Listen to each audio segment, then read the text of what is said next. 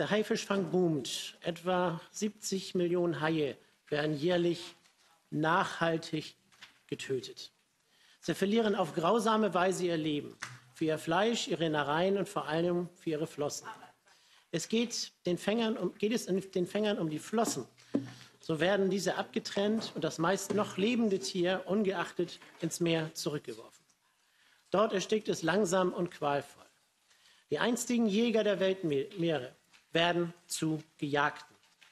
Umweltschützer verurteilen die immense Fischerei auch aus ökologischer Sicht aufs Schärfste.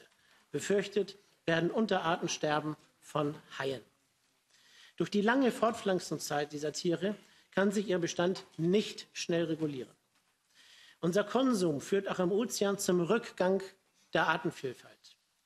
Wer davon ausgeht, dass lediglich Länder wie Indien und China Abnehmer der Haiprodukte sind, liegt falsch.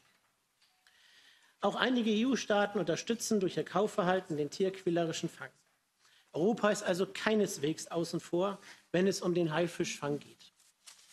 Wir Menschen nehmen uns von den Tieren all das, was wir zu unserem eigenen Vorteil gereichen können, ohne Rücksicht.